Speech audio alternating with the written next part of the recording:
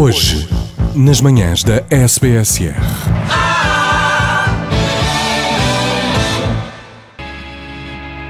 Dez e 45 bom dia, boa quarta-feira. Está na altura de dar as boas-vindas a mais um convidado nesta manhã. É verdade, vamos receber uh, Tiago Carvalho, um dos mentores do projeto Cinepop, uh, que tem tomado uh, conta do Cinema Roma com filmes de culto. e há uma, um novo ciclo até, até, até, até dezembro e já, e já arrancou o ciclo. No próximo dia 20 uh, passa, passa o Fight Club do, do David Fincher. Tiago, muito obrigado por teres vindo aqui à Rádio SBSR. Mas antes, de falarmos, antes de falarmos aqui do, uh, deste, deste novo ciclo que vai até, até dezembro e dos vários filmes, para além do, do Fight Club, e para quem não conhece o, o projeto uh, Cinepop, como é que nasceu este projeto e qual é que é o propósito principal? O projeto nasceu porque eu queria ver estes filmes e, e pronto. E, e, não havia esta, esta oferta, chamemos-lhe assim, em, eh, em Portugal. E, hum, e, esta vontade também surgia de ver filmes durante a nossa adolescência em que nós víamos os próprios personagens a ir a estes cinemas, às uhum. matinés e a ver filmes eh, mais antigos e eu, e eu a desejar que, que isso existisse cá e, e, não existia. E houve uma altura em que eu tinha um bocadinho mais tempo livre hum.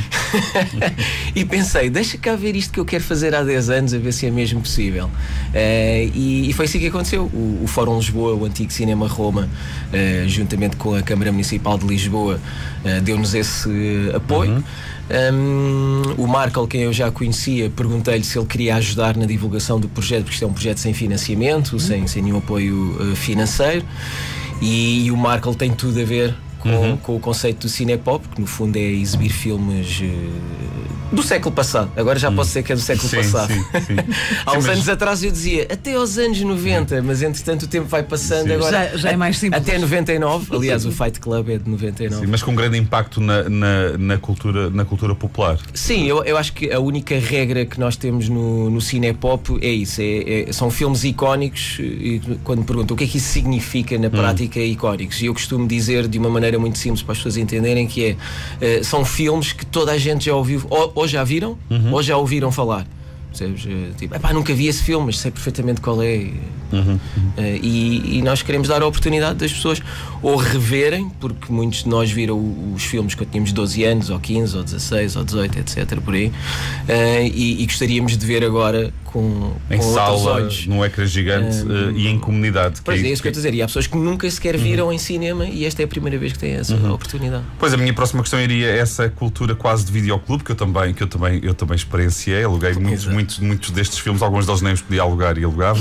A 300 escudos, é, normalmente era, era, os mais caros eram os 300 escudos. E, via, e alugava pela capa, nem sabia o que é que, o que, é que estava a alugar muitas ah, vezes, sim, via, via, sim. via uma personagem com uma pistola ou um robô com uma pistola e alugava o filme. É isto mesmo. E de repente era o, era o Robocop ou era, ou era uma imitação do Robocop, uma coisa assim Exato. assim qualquer. Uh, isto é, é, é, é, ou seja, isto, estes filmes ganharam este estatuto de culto, uh, mas na verdade muitos. Uh, há muitas pessoas que nunca tinham visto este filme num grande ecrã. Há muitos filmes aqui, uh, por exemplo, eu nunca eu estava aqui a ver o Pesadelo Elm Street que, que rodou, uh, que vocês passaram há, há pouco tempo sim, em vésperas sim. do Halloween e nunca vi este filme no cinema.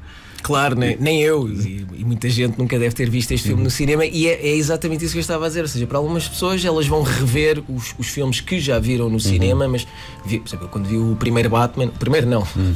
o Batman do, do Tim Burton, eu tinha 9 anos, acho eu, e, e vi-o no cinema. Eu também Epá, vi no cinema. Vi no, nos cinemas Alfa, que já, já não existem. Uh, mas uh, completamente diferente de uhum. ver com 40 anos, ou 30, ou, ou, ou 25 é quase como se fosse uma, uma, uma segunda primeira vez. Uhum. Uh, mas depois, como tu disseste, outros filmes como O Pesadelo em Elm Street ou filmes do Hitchcock. Uhum. Quer dizer, 99% de nós nunca teve a oportunidade de ver Sim.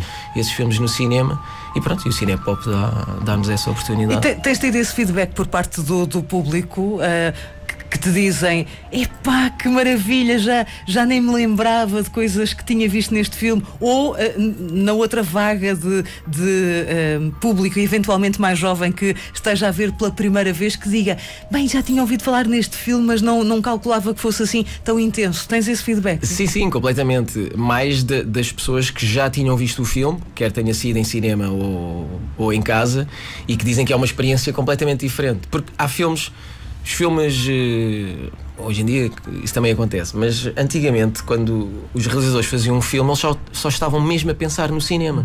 Eles não estavam a pensar que depois ia ser visto num telemóvel ou, ou até mesmo na televisão. Obviamente que já existia esse, esse circuito, mas os filmes eram mesmo pensados para cinema. E as séries e outros conteúdos é que eram pensados para televisão. E há certos filmes que realmente, quando vemos em cinema, o impacto é completamente diferente, seja o Pesadelo em Elm Street, ou seja, eh, sei lá, vou dar uma sugestão mais clichêsada, mas um filme do Kubrick, não é? Ver um filme do Kubrick no cinema não tem nada a ver com ver um, um filme do Kubrick eh, na televisão. Eu, eu que estudei cinema, sou, sou realizador e adoro Kubrick, mas há, há, há filmes como, por exemplo, não só o The Shining, mas até mais o, o 2001 Odisseia no Espaço, que são filmes que no- nós vemos em casa, ok, vou ver, sou, sou apaixonado por cinema e, e é muito bom, mas quando vemos, porque o 2001 já, já passou no, no cinema, e vocês veem o 2001 no cinema e aquilo é uma experiência completamente alucinante. Aquilo, aquilo é, nós vemos aquilo e pensamos, ah, ok, então o filme é isto. Eu devia ter vindo ao cinema para, para, para ver este filme. E, hum, e sim, temos, temos completamente esse feedback de pessoas que dizem: pá, ver este filme no cinema, isto realmente é, é quase como ver outro filme. Eh, e, e pessoas que nunca sequer viram, o pessoal mais novo, de 20, de 20 e poucos anos, que nunca viram estes filmes no cinema ou nunca viram estes filmes, ponto final, porque também pensam: é pá, tanta oferta para ver nas plataformas e etc. E isto acaba por não acontecer verem este filme, mas depois, como está a dar no Cinepop, pensa, ei, bora lá, agora finalmente vou ver este filme. E de repente veem coisas que achavam que, que não era possível ver. Até, por exemplo, eu já me calmo, mas, por exemplo, nos Goonies, filmes que são muito mainstream, eh, mas que naquela altura, como não havia as proteções das idades e coisas desse género, há, há- certas piadas que são, que são ditas em filmes para crianças, como os Goonies, que hoje em dia seria impossível. Um filme para maiores de 6 não, não, não teria essas Sim, piadas. as piadas ou até algumas imagens um bocadinho mais intensas. Mas, mas tu tocaste aí num ponto fulcral que é os realizadores de facto faziam os filmes para o grande ecrã. Ah, o clube de vídeo era uma coisa muito. os- o, o home video era uma coisa muito, ainda muito fechada e muito à parte ah, em alguns filmes desta altura. Enfim, nem, nem, nem querendo chegar ao Kubrick, porque de facto eram filmes pensados para o cinema. Não, só, não só a imagem, mas também a própria mistura de som. Estar a ver um filme no cinema, num ecrã gigante, mas a- ouvir o som daquela, da, daquela forma é uma experiência Exatamente. única. Ahm, olha, vamos falar aqui do, do ciclo que está até ao final do ano. Já passaram alguns filmes, como por exemplo Uhum. o Pesadelo Elm Street, em vésperas do, do, do Halloween, e também o Doctor Strange Love. Estamos aqui a falar, Olha, do Kubrick, a falar, a falar do Kubrick. Eh, como é que foram estes- estas sessões? Como é que correram? Correram, pá, correram muito bem. Eh, O, o Cinepop, como, como disse há pouco, a única regra é o, os filmes de cena icónicos. Significa que eu tento que a escolha seja o mais eclética possível. Uma semana o filme não tem nada a ver com o género da semana seguinte. E isso também permite que haja uma reciclagem das pessoas e que os próprios espectadores tenham tempo para fazer outras coisas na vida. Porque não precisam de ir todos os domingos a- a- ao Cinepop. E então, pronto, nós começamos com um, um filme de terror. eh, a seguir, tens uma, uma comédia alternativa do Kubrick. E que funciona perfeitamente nos dias que estamos todos a viver. E funciona perfeitamente. Infelizmente, infelizmente. Eh, e correu muito bem. eh, no, no Pesadelo em Elm Street eh, tiveste aquele género de pessoas mais fãs do cosplay e do terror. O pessoal levou as luvas de Freddy Krueger, tínhamos lá expostas, retratos, t-shirts. Pá, foi, foi, foi super engraçado. Eh, E sim, sim, correram muito bem. Uhum. É, o- a- as- estas sessões acontecem domingo à tarde, como tu disseste, a partir das 4 da tarde. O próximo filme, eh, e já este domingo, domingo à tarde, é o Fight Club do, do David, David Fincher. Fincher. Eh, e depois temos o Jurassic Park no, no outro, no outro fim de semana. O que é que nos podes contar sobre estes dois filmes? Eh, para, quem, para quem ainda não sabe o, o- o que é que é o Fight Club. vez De repente sinto que sou eu que, chegou, realizei os filmes. e o é Jurassic- contar? Como é que foi fazer o Eu Fight sinto Club? que vem uma moda de dinossauros daqui, a- daqui, um, daqui umas semanas com este filme, Jurassic Ah, Park. sim, sim, sim. sim, Nunca sim, sim. ninguém, exato. Nunca ninguém. Eh, o Fight Club, para mim, a única coisa que eu posso dizer é que é o, é o filme que tem o, o twist dos twists, Eh, diria eu, pelo menos para a minha geração. Se calhar quem é mais velho diz: é pá, não, há um twist. Olha, se calhar o twist do Vertigo do, do Hitchcock também é um grande twist. Eh, e eu lembro-me que depois de ver esse filme, todos os filmes que vieram a seguir com twists, para mim, não me souberam a nada.